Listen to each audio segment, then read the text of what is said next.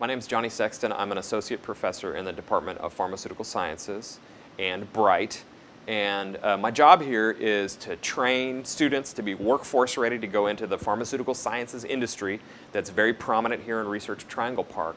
But the other part of my job, and it's a very exciting part, is doing research to discover new drugs for type 2 diabetes and obesity.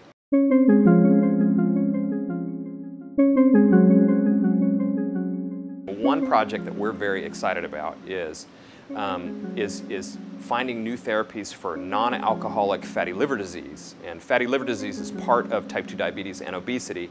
It's one of the complications that very often leads towards um, needing to have a liver transplant. Our intake of fat and the fat that our body synthesizes naturally gets stored in our fat tissue. The problem happens in type 2 diabetes and obesity when your fat tissue is essentially full. It says, I can't take any more fat. And where does the fat start going? When it can't go into our fat tissue, it starts going other places. And one of those places is the liver. So the liver can store a natural amount of fat, but when you have very high circulating triglycerides, fat in your blood, that fat gets stored in the liver. And when that happens, that starts to impair liver function, causes insulin resistance, and also doesn't make you feel very good.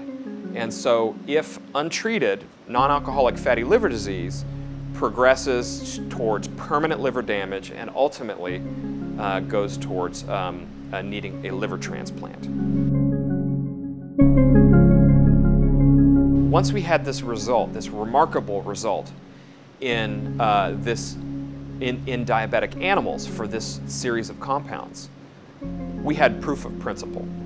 That means that we understood how these molecules were working and we understood and we had just demonstrated that they have therapeutic potential for human beings.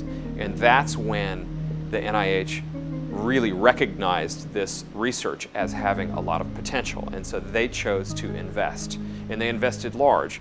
And so this phase two uh, SBIR grant uh, was a total of $2 million to complete this phase two clinical trial. So what they really want is they want to see this molecule go to clinic.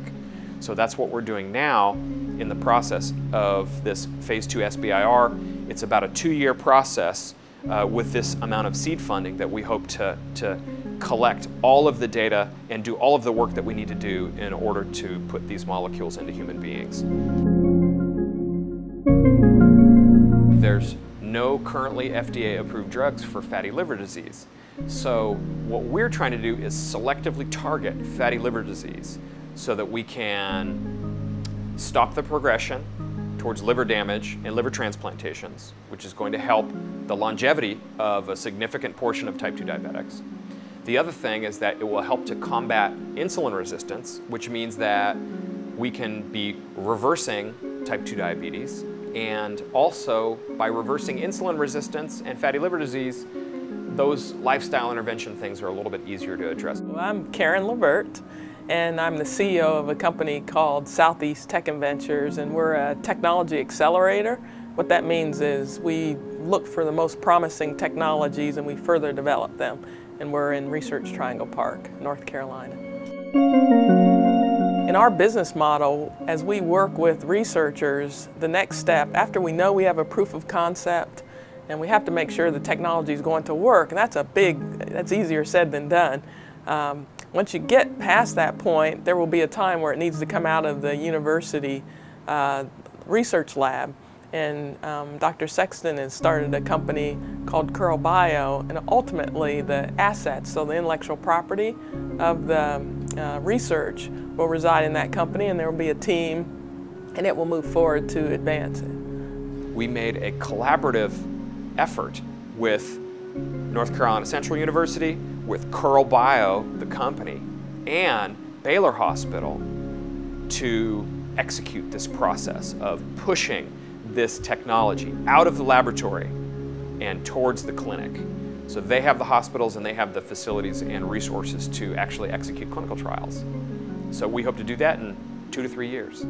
Our goal, um, and we're starting right now, is to, uh, we'll, we'll talk with four or five potential partners, and when we say partners, these will be the companies that actually will ultimately license the intellectual property from the university. And that's where it's really great from, from the university standpoint because um, the university well, owns uh, you know, a part of the company that's spinning out the technology. And then our goal is to really make sure it gets into the hands of that big pharmaceutical company that will take it into the marketplace to treat uh, patients for type 2 diabetes and fatty liver disease.